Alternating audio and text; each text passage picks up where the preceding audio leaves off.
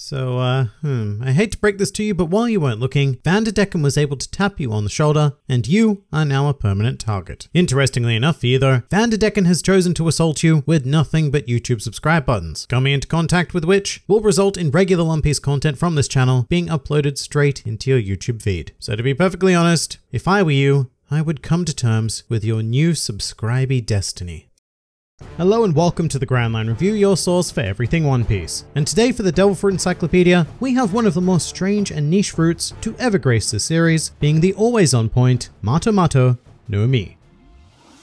The Mato no Mi is a paramecia type fruit that makes its user capable of perfectly aiming at a chosen target with a chosen object from seemingly any location. Weird, but cool I guess. And in the series it was consumed by the bullhead shark fishman Vanderdecken IX. And of course it made its first appearance during the Fishman Island arc. This fruit takes its name directly from the Japanese word mato which means mark or target, which in this case is specifically a noun referring to a mark or target, which is very interesting because in English mark and target can also act as verbs. For example, to target someone. But I only point that out because it's intended to immediately give us the impression that this fruit focuses far more on the acquisition of a target rather than the act of targeting, if that makes sense. And if it doesn't, well, too bad. Although it should become apparent soon enough, but in regards to the realm of English, both Viz and Funimation have decided to translate the Mato no Mi very simply as the Mark Mark fruit. Now hopping straight into things, this is another one of those surprisingly simple fruits, as it basically allows a user to acquire a target by touching a living being with one of their hands, and from that moment on, the user of the Mato no Mi is able to target their mark with anything from anywhere at any time, or seemingly so anyway. So for example, if Zoro was the user of the Mato no Mi and touched Sanji, then that would give him the ability to throw one of his swords whenever he saw fit, and the sword would then track down and collide with Sanji, provided that no other object or individual got in the way of it. And that is the simple gist of the fruit. So already the Mato Mato no does present some similarities to another fruit that we've encountered, being the Mane Mane no Mi, currently possessed by Bon Clay, in that the powers of this fruit are only able to be activated by the hands of the user, as well as requiring the strict condition of touch. However, it should be noted that unlike the Mane Mane no Mi, the Mato Mato no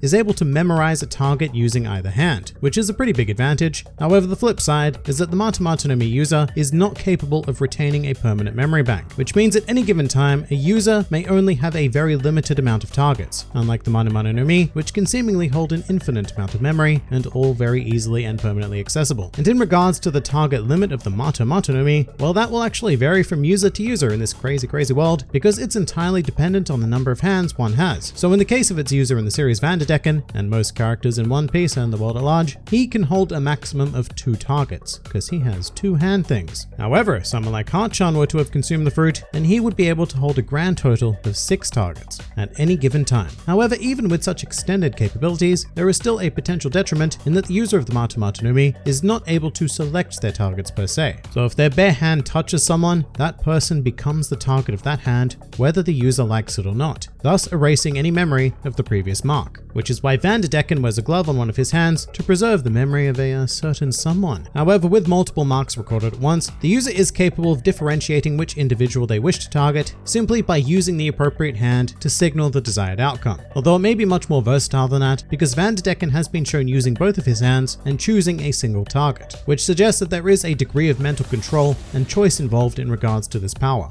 Now rather terrifyingly, we are currently unaware of any restrictions on the Mato Mato no Mi in regards to the distance that its effects may cover. Although I do bring that up as an important point, because most paramecia fruits do have some kind of limitation in this regard, even if they are often jokes by Oda. So for example, Luffy has an established distance that he can stretch, and Buggy has a defined spherical area where he can control separated limbs, and even Robin has a limit of how many limbs she can spawn. So I can only assume that the Mato no Mi would be similar, however it is at the very least a distance long enough to cover an area greater than that of Fishman Island. And this is further terrifying because the longer the distance between the target and the object being thrown, the greater the acceleration the object will gain on its travels, thus resulting in the potential for great damage to be caused to said target. And if there were no distance limit in regards to this, then there would be nowhere safe in the world for a targeted individual to be. Interestingly enough though, it's not known if the user of the Mato Mato no Mi could target themselves, although I don't see why it wouldn't be theoretically possible, although at the same time I also can't think of a fantastic use of that particular ability. If anything, it would just add an extra layer of complication because you would need to be super super careful in regards to not wiping the memory of your target by performing simple actions like scratching your nose on something and then accidentally targeting yourself and then throwing a knife and then oh that's that's messy. But let's get into some Vanderdecken specific use now and I I have to say that, well, he is certainly not the best user that the Mato Mato no Mi could have ever dreamed of, primarily because Decken almost exclusively engaged its abilities to pursue his obsession with one Princess Shirahoshi, whom he decided he would marry when Decken first laid eyes upon her. And I'd like to note that Shirahoshi was, you know, six years old at the time, so that's a slightly creepy maneuver by Vanderdecken there. But he would proceed to acquire her mark memory and target her with all sorts of love letters, proposals, deadly axes, you know, all the standard dating gifts, which resulted in Shirahoshi being locked away for 10 years for her own safety. However, Vanderdecken does use his power fairly decently outside of this obsession, and he uses its incredibly bizarre effects to catch people off guard. And I know that the One Piece world is pretty damn crazy, but even then, nobody expects a heat-seeking knife to relentlessly track you down after being touched by a seemingly harmless pedophilic fishman. Speaking of though, the fact that Vanderdecken is a fishman is very much at odds with consuming a devil fruit at all, and makes him absurdly vulnerable given that he lives on the sea floor because he has lost all ability to swim, and as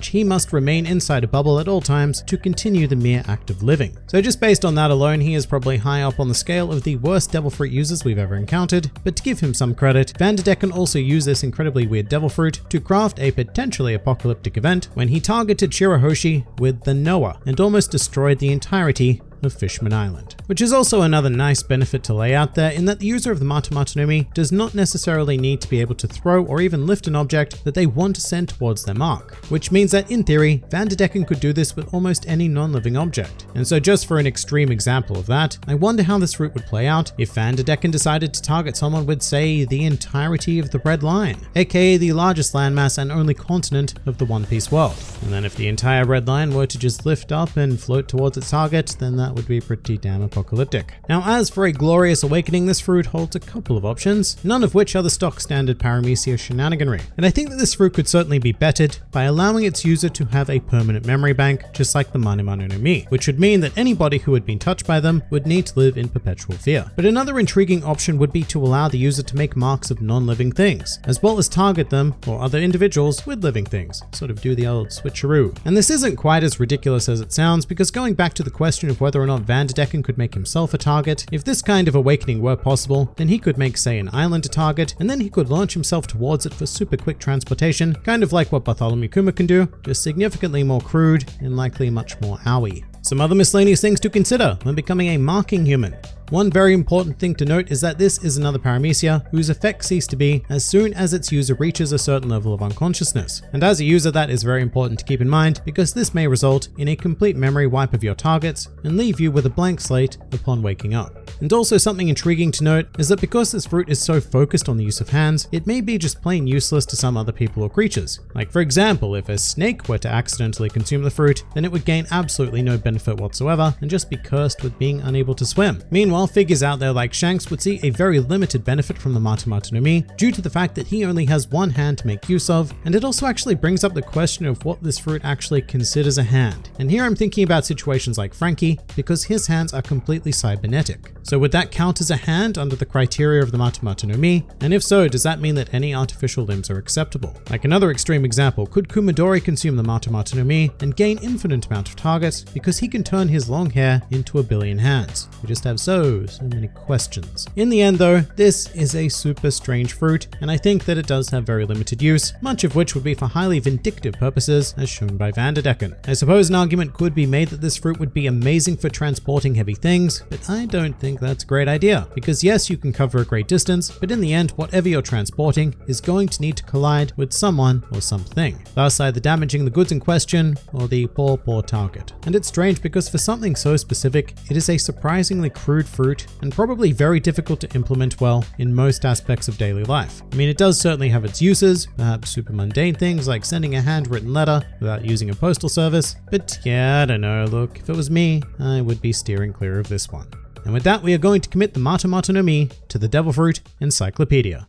Next time on the Devil Fruit Encyclopedia, we are traversing back into the Zoan realm in order to discuss a bizarre situation about a turtle fruit being used by a lion with the Kamekame Kame no Mi. If you enjoyed this video and the content this channel produces in general, then please do consider donating to the Grand Line Review Patreon because the support of all of you amazing people is what continues to make this channel possible. And if you'd like to see more videos like this but applied to other anime manga series, then please do check out my second channel New World Review for all of your wider needs. And if you'd like to join the fun at any time, then please do head over to my Discord server where a wide array of shenaniganry takes place on a daily basis. And finally, please do comment with your thoughts on the Mato Mato no Mi. This has been the Grand Line Review, and I'll see you next time.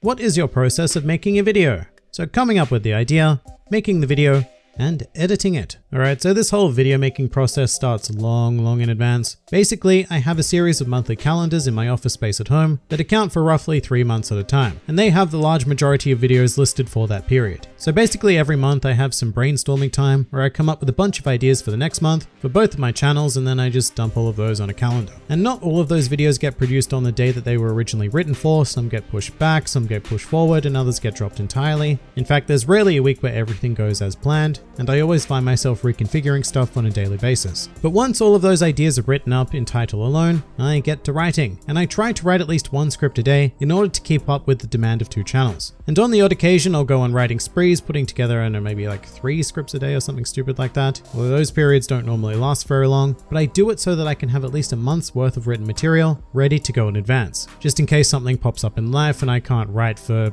a week or two. And chapter reviews and stuff like that are not included, of course, they need to be done always at the last minute. And to give you an idea of how far in advance I prepared this, I've got it down here that I wrote this script on the 18th of January. And in regards to recording and editing, this gets done much closer to release, usually the day of or day before the actual posting of the video. And this is done because I used to edit videos way in advance, but it backfired on me a couple of times, especially with things like One Piece 101. When I make a video about a character a couple of weeks in advance and then a new chapter comes out with more information about them and I have to go back and rewrite, re-edit, and it's just a bit of a pain to do. So it's just more efficient to produce things on the day of or the day before release. But basically my standard day of working on these channels will consist of writing a script for a video coming out about a month from now, then recording and editing a video that needs to come out either that day or the next day, and then a whole ton of other stuff like graphic design for thumbnails, which are usually done by me at the last minute as well, and also stuff like making devil fruit images for the encyclopedia, and there's just an oddly surprising amount of work that isn't writing, recording, or editing. But that's the basic gist of it. I hope to go into the process in much more detail, maybe even have a whole video on it at some stage, because I think it's pretty interesting, and it might give others a good idea of how to manage getting started in YouTube. But for now, that's kind of it.